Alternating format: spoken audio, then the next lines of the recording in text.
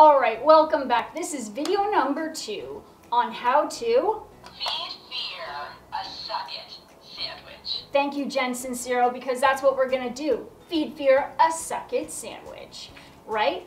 Because if we don't, pretty soon, false events will be appearing real, right? The world is coming to an end. Not. What is antidote number two? It is mantras. Ma- you can call them mantras, affirmations, self talk, whatever. But what they are are little phrases that you prepare in advance to tell yourself whenever you're feeling negative, overwhelmed, fearful, whatever. So when you're at home, stuck with your darling family for the next three weeks and are starting to go freaking mental, you can remember your mantra and repeat it again and again until you believe it, or at least until you dissipate those negative thoughts.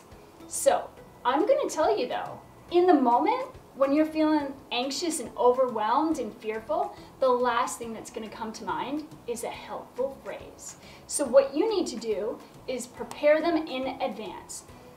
Write in your journal on a note paper, whatever, like 10, 15, 30, doesn't matter.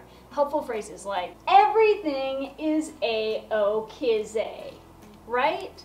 So it doesn't matter what your mantra is, it just has to be positive. In the morning, get up, get ready, decide what your mantra is going to be for the day. Practice it a couple of times so that it is on the tip of your brain in those frenzied, hairy moments. Because, pal, if you do that, then guess what? Everything is going to be a-okay. Take care. Ain't that the truth?